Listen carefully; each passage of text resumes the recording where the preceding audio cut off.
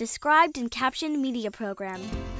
In the classroom and on the go. DCMP.org. How do scientists classify planets? Scientists classify objects based on their traits or characteristics, like size and color. In the case of planets, scientists look at size and the orbit or path of the object in space. In 1930, an American named Clyde Tombaugh discovered Pluto. At that time, it was classified as the ninth planet in our solar system.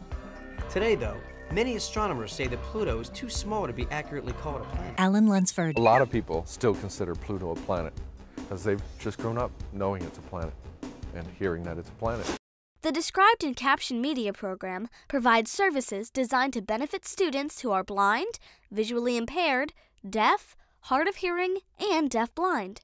These services include a library of free loan described and captioned educational media, a clearinghouse of information related to educational media access, a gateway to internet resources related to accessibility, and a set of guidelines for adding descriptions and captions to media.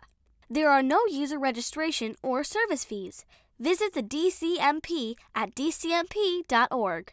The DCMP is funded by the U.S. Department of Education and administered by the National Association of the Deaf.